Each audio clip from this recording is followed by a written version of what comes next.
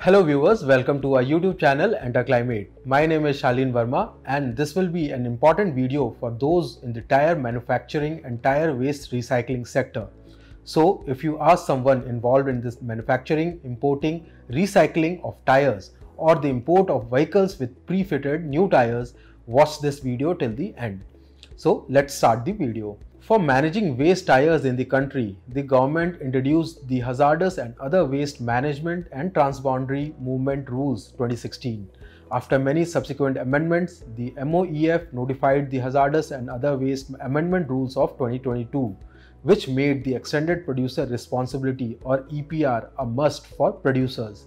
The amendment also made registration on the CPCB's centralized EPR portal mandatory for producers, recyclers, and retreaders. The 2022 amendment made provisions for the utilization and management of waste tires through EPR. The CPCB portal for waste tire management has been developed and act as a centralized online portal for the registration of entities, submission of quarterly returns and trading of EPR certificates. All the entities covered under the 2022 amendment rules that is the producers, recyclers and retreaders must register themselves to continue their operations in India. The present EPR portal is only limited to online submission of information related to the quantities of tires introduced by them in the market and the generation of their EPR obligations. The guidelines with respect to trading of EPR certificates will be soon made available on the portal. So let's understand the obligations of the producers under the rules to determine their EPR responsibilities. First, let's understand who a producer is. As defined in paragraph 1e of the 2022 rules, EPR will apply to producers that is the manufacturers, importers and brand owners who manufacture and sell new tires domestically or sell tires domestically under their own brand name after procuring a new tire manufactured by other manufacturers or suppliers or sell imported new tires import vehicles fitted with new tires, those automobile manufacturers who import new tires for the use in new vehicles sold domestically, and lastly, those who import waste tires. Now, importing or reusing waste tires in the form of rubber or carbon black is permitted. However, importing waste tires to produce pyrolysis oil or char is prohibited. So, in this context, we must understand what constitutes recycling. As defined in paragraph 1f of the 2022 rules, recycling is converting the waste tire into an end product in an environmentally sound manner and possessing the facilities as elaborated in the SOPs released by the CPCB.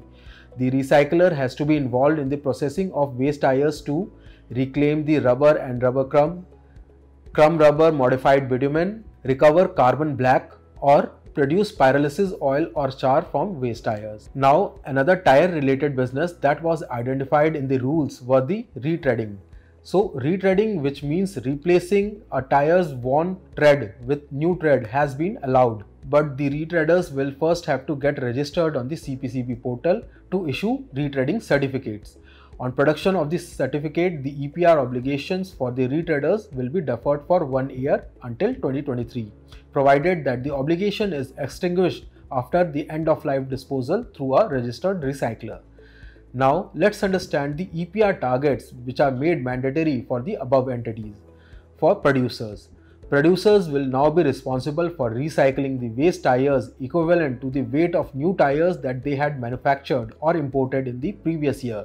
So, for the importers of waste tires, the EPR obligations will amount to 100% of the waste tires they imported in the previous year. Both these entities will have to submit their data as per the directions as shown in the table.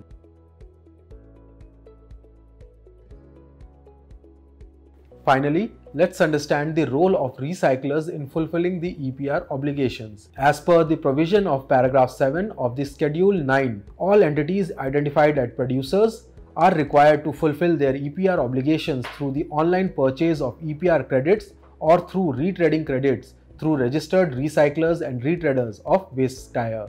The EPR obligations for the producers of new tires has been fixed as shown in the table.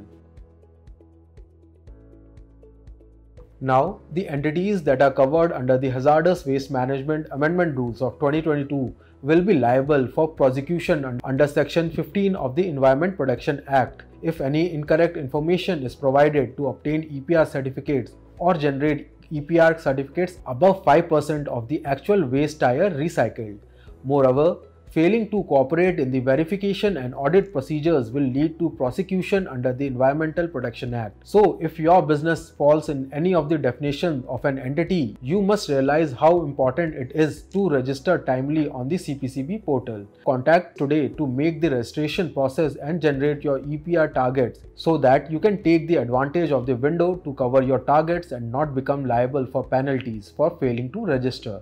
So this was all for today's video. Remember to like and subscribe our channel. You can also visit our website www.enterclimate.com for more information and contact our experts from the details shown. Thank you for watching.